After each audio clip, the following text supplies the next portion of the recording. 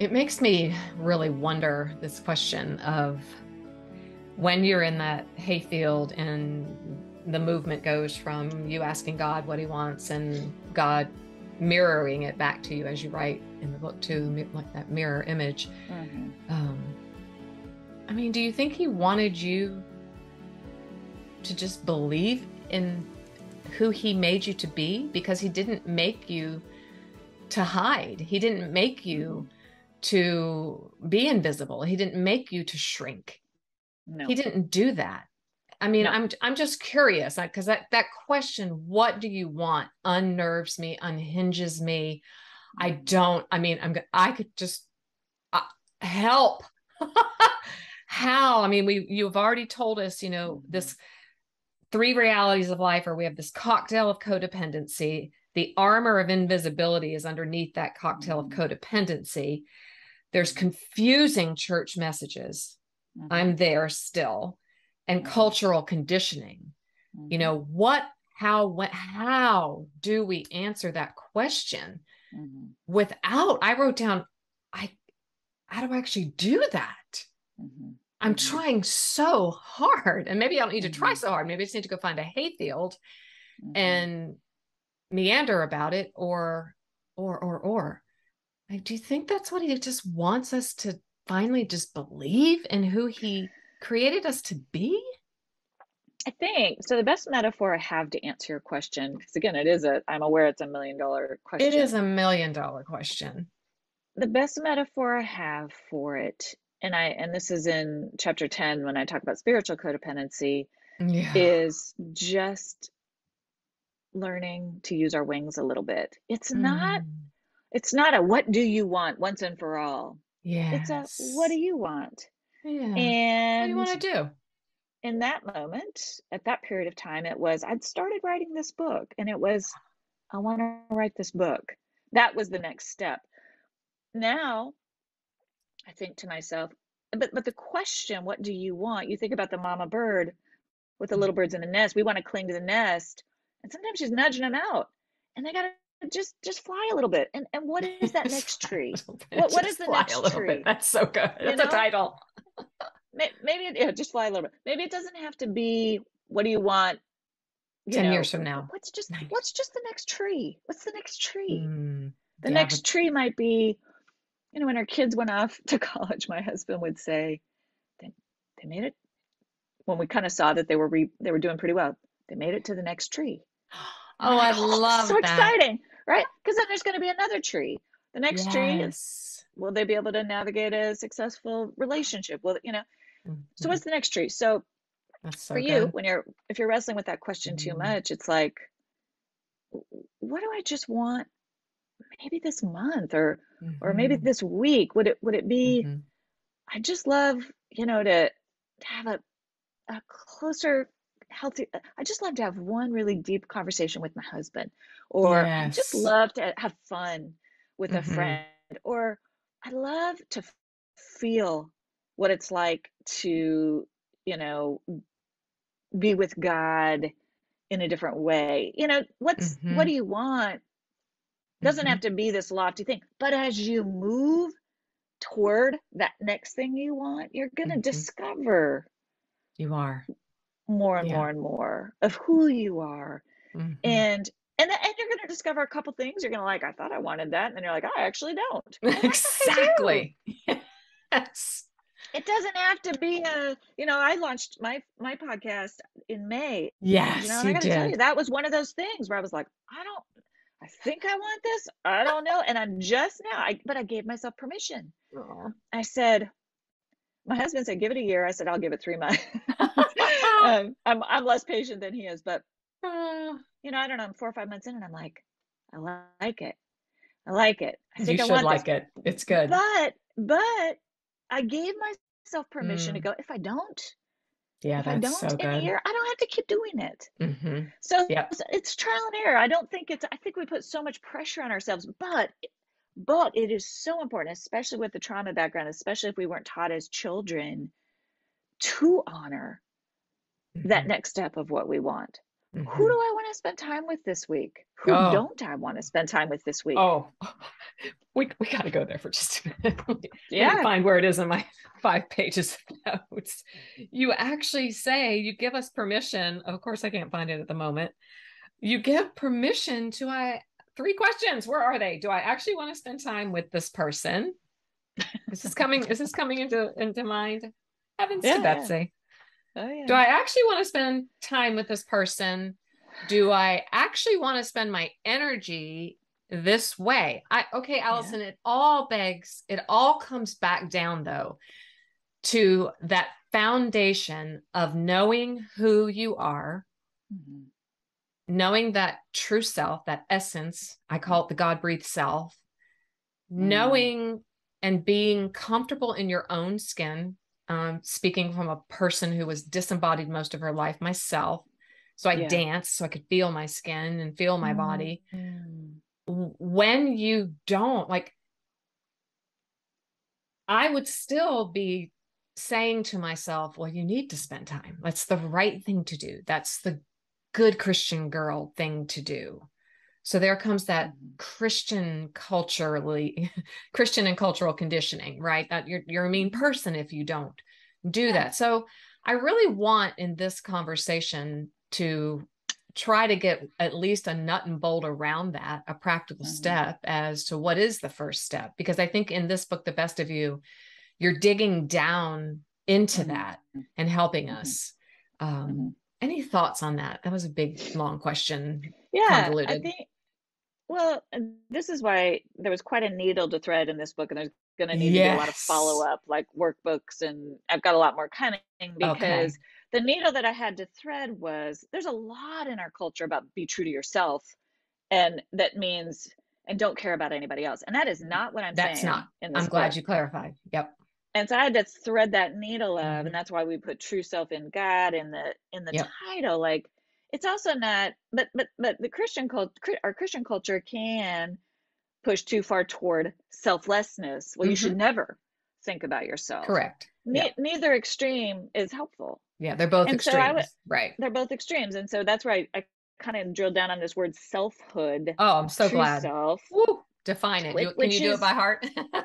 Not which, well, well, it's re- yeah it's really this just this i would i would just say the the tactical question that you're asking which mm-hmm. is you know i don't want to spend time with this person i feel like i should yes right should so then you mm-hmm. so curi- curiosity there you know um why do i feel like i should mm. well because she's my dying mother you know oh, oh yes okay, well then maybe well, i that hit home maybe, maybe sorry you know yeah but you know i mean just uh, you know okay, I, I probably ought. There, there is some mm-hmm. healthy shoulds, but how much time? What is the quality of that time? What is the quantity of that time? I have some control. How much bandwidth do I have? How much energy do I have? What other people, such as children, spouses, friends, need of me? I am no use to the world if I am exhausted. So it just becomes a more robust question than should or no. It's man, yeah. something in my body, and I go through the different ways listening to learn to listen to the mm-hmm. voice of your life something yep. in my body. And one way I had to learn, I would start to have anxiety attacks. Mm. I was like, mm. if I, I literally, I, I mean, I feel terrible, but I would be sitting over coffee with someone when I was at the height. This was in my 30s. This was years ago mm-hmm. when I was at mm-hmm. the height of my, I only lived for other people and self is bad. Yes. I would be at coffee with someone and start to have an anxiety attack and have to leave. Oh, I understand. And oh, I, too well. Wow because That's I was not listening to the cues of my body. Right. Everything I did was, how do I serve you? Mm-hmm. And and my mm-hmm. body was like, you got nothing. You got nothing to give this person. Mm-hmm. They're not doing it, and they're not doing anything wrong. You're showing up for something you don't have energy for. Yes. Man, yes. was that mm-hmm. like so listening to the cues of your body with the shoulding is yeah, this is somebody I want to I mean, first of all, I want to say, I want to say 90%, but I'm going to say, to be generous, 75% of the time, the shoulding is really, does this person really yes. need me? Let's, you know, 25% of the time, maybe. Mm-hmm. And if that's the case, I still get some say in how, when, on what terms. That's it. Um, that's it right, right there. Uh, that's it though. To, yeah. yeah. I'm sorry. I'm so sorry. No, no. I get excited about this stuff too. We're we're you and I, I are like two I know. Two peas in a pod here. I think that's what it is. It's that and you write so brilliantly about it. Finding your voice. I've written about it. Finding your voice. And in this community, we equate voice with value, worth, and dignity. So they're inextricable. When yeah. I know, when I know that I know how much I can handle my boundaries, and you write about boundaries. This mm-hmm. book is such a journey as well. And so mm-hmm. if you don't know yourself, mm-hmm. then you can't think for yourself. You you you've shared that so brilliantly in the cocktail of codependency that you know, you don't know where you end and the other person begins. You just have no sense of personal agency, no autonomy. And there's reasons you're that way, more than likely. That's right. Yeah. But for the sake of this podcast and this time, you know, I guess I'm just I I so I feel like it's so urgent mm. that particularly mm. women of faith mm-hmm understand they have agency, they have a voice, they have not yes. been called to be invisible. You say it clearly. You're not called to be a doormat. We yeah. are called. You say it so yeah. perfectly, you know, yeah, not a doormat. But but I don't think I was talking to someone the other day and they were like, you know, I don't think we have models for that yet. Not no he was like, so who do you admire? And who I'm like, mm-hmm. I'm I'm trying here, you know, but mm-hmm. who mm-hmm. who are are doing it well and who are mm-hmm. really yes. truly authentically yes yes following the way of Jesus. That's right. You know, right. In a nuanced way without throwing the baby out with the bathwater. Yes. Mm-hmm. Yes. Mm-hmm. I know. No, I think it's I do think it's I don't hear a Christian woman not struggling with this. And, and ironically, men kind of take it for granted. I mean, mm-hmm. they don't think about as much, not all men. No, no. And especially men of color, men who've been marginalized. You know, I, I've spoken with many of them are like, yeah, some of that resonated with me because we're supposed to sm- play small to get along, right? But yeah, um, I, I think mm. this whole thing of selfhood, what I say about selfhood is oh, so good. It, any relationship, including your relationship with God, requires two people, and you are one of those people. Yes. You have to bring yourself into any relationship that you want to be healthy, including your relationship with God. Yes. Preach it. And I mean, speak it, teach it. I love that. We do not know, we do not do anyone any favors by sidelining, rejecting, bypassing our own selves. Mm. We are not showing up as truthful we are not showing up as authentic we are not showing up and that that relationship cannot thrive if we do not bring our true selves to the table now again true self is not my mm-hmm. way or mm-hmm. the highway that's, that's not correct. what it is true right. self is simply saying i have a preference i have a voice and my voice matters i'm also happy to listen to your voice and guess what the more confident i am in saying here's what i think here's what i feel yeah. the more free i am to tell me about what you think and feel Mm-hmm. Oh, isn't that interesting? You think about marriage. I did a, a interview last week with a, a, a, guy. He was great. He was like, well, "What does this mean for marriage?" And I was like, "Guys should be thrilled." yes. I was like, "Because listen, what does if, this mean for I, marriage?" Wow. If I mean, if I'm coming to the table going, "Well, this is what I think and what I want," and he's coming to the table going, "This is what I think and what I want," and you both have done your own work, you're mm-hmm. both like, there's nothing in that that is offensive. It, it, okay, no. so we don't agree. I want to do this. I want to do this. I mean, I think this way. I think this way. Interesting. Yes. Now you get to the fun part, and this is the dialectical thinking. This is mm-hmm. the chapter nine. Now we get to negotiate. Oh, that's and guess so what? Yes. Guess what? The best material comes from when you just the fun and the play of creativity of mm. going. Okay, how are we gonna? This is because my. It's better.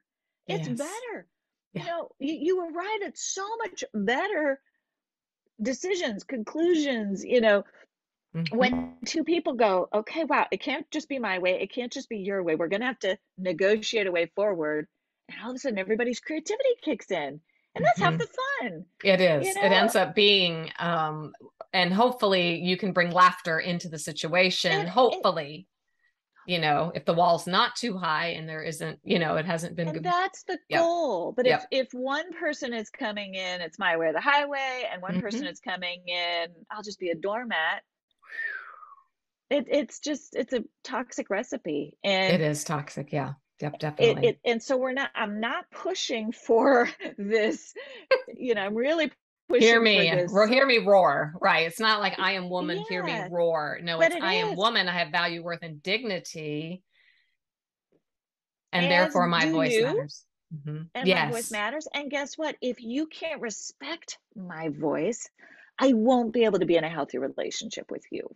Right. And that is that is again another message for women. If you can't respect not that you have to do everything my way nothing but if you mm-hmm. can't respect my voice or my limits or my nose you know i've started mm. i write about mm. this also i started in the in my 30s when i was having to change i would have to test friendships and I yeah would, that i just found it actually I, I test, test, a new relationship yes that's what i was looking for i thought this is and, brilliant because i know myself well enough but I'm like, I'll turn myself inside out. And if I can't introduce a no early on or a preference early on and they mm-hmm. can't tolerate it, I can't do it.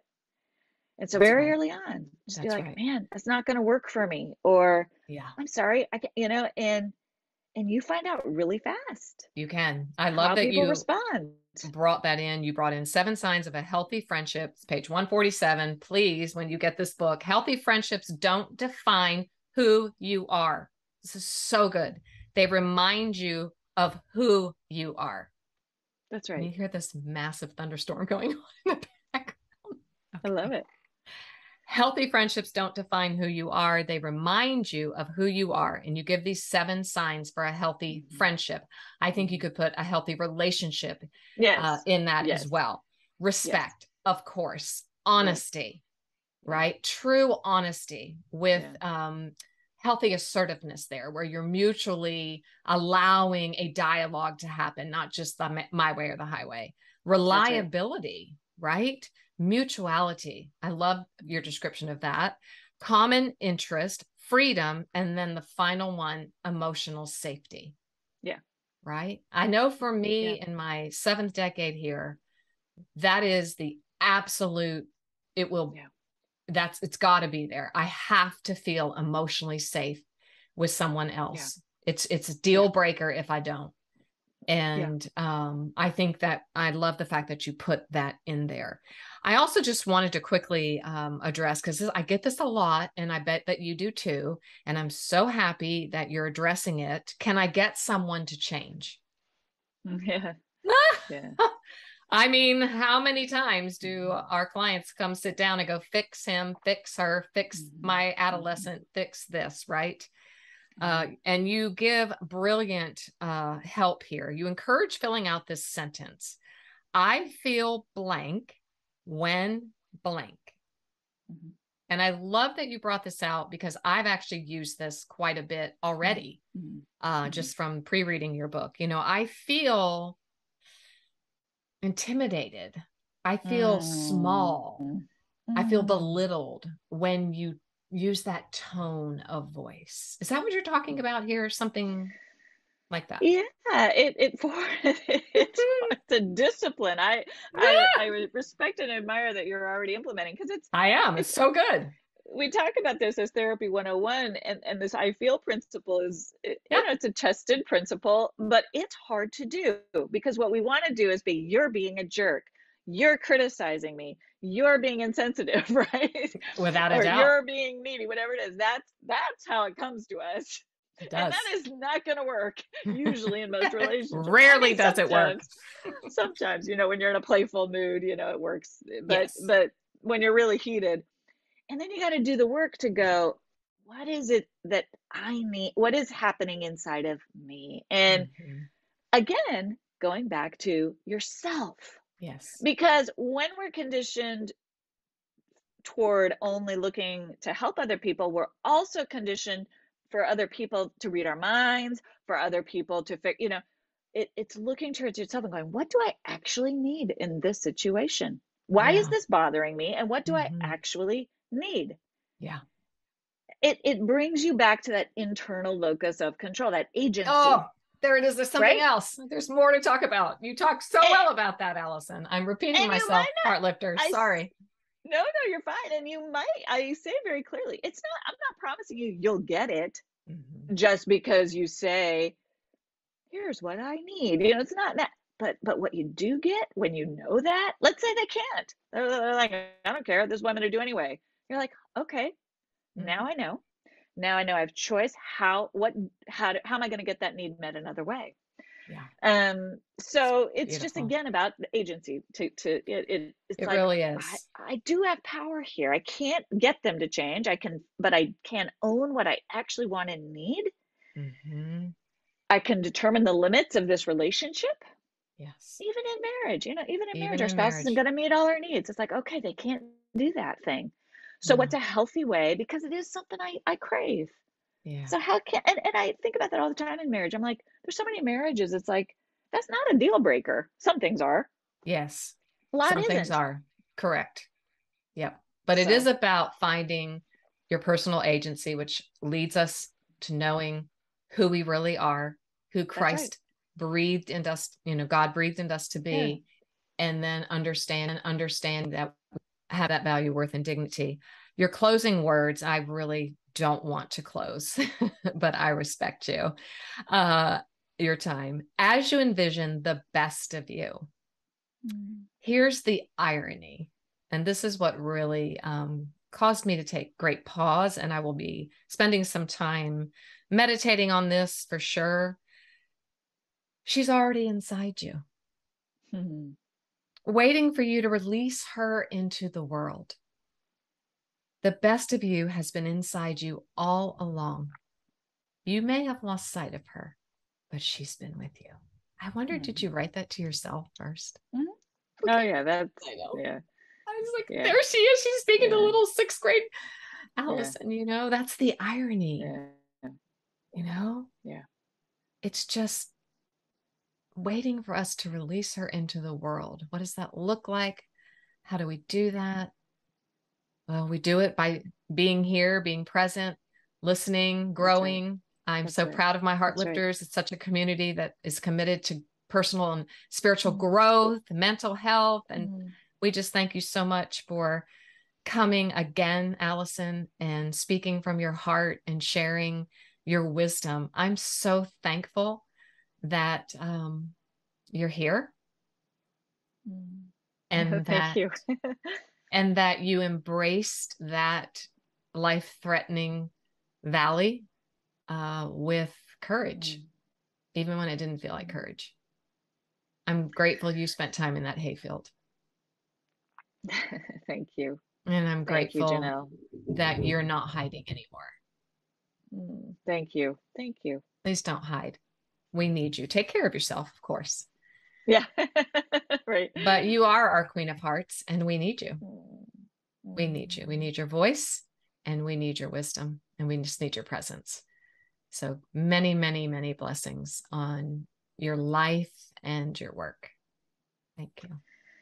You embody what it means to be a heart lifter. I appreciate so much these conversations with you. It's you're the, the feelings are mutual and i'm so grateful mm. for the good work you are putting into your mm. community into your work um, it's so sincere and mm. you you've lifted my heart today i hope so so thank you you're welcome next time we'll see you next time